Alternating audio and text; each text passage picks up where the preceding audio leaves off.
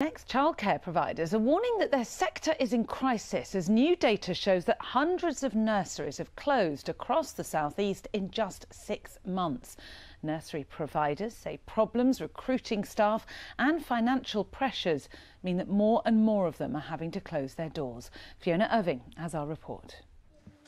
They're trusted to look after the youngest, but are struggling to stay open. This nursery in Canterbury has been caring for two, three, and four year olds for five decades. It was Ofsted rated as outstanding in the summer, but it's not sure how long it can stay afloat. The government funding doesn't cover our costs.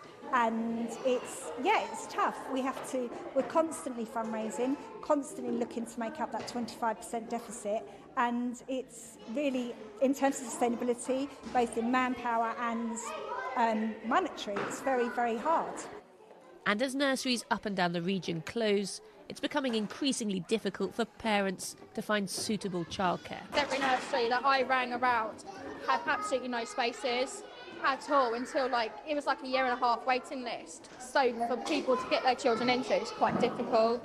For a lot of parents that are going back to work and that it's just really hard. It's just and it's going up in price, so it's really expensive and just getting harder and harder to find childcare. The problem we've had is finding a nursery that can provide for her needs. Um, we tried a few, uh, most of which said that they were limited on space for children with SEN needs. Once you find a place, you tell everybody that this is the place to go, um, and then you hope that this will be there longer. This has been here for 50 years, and we hope that it will continue. Now, new figures from Ofsted have shown just how many nurseries have had to pack it in. Between March and August this year, 242 childcare providers in the southeast closed. Some new ones did open during that time, but the total number of early years providers in the region was down by 90. And although there were fewer providers, the number of childcare places in the southeast actually went up during the same period by 272.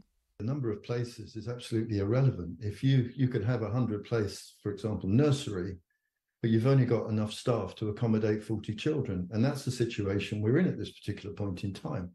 So the number of places is absolutely irrelevant. What is relevant is whether nurseries and childminders can keep their doors opening. And I have to say, over the last decade, we've witnessed a massive exodus of providers from the sector. The Department for Education says it is investing in early years by expanding 30 free hours of childcare from nine months old and it's investing hundreds of millions of pounds to increase hourly funding rates. It also says it's launching a new national recruitment campaign and introducing an apprenticeship scheme. But for nurseries who are struggling now, that may be too little and too late. Fiona Irving, BBC Southeast Today, Canterbury.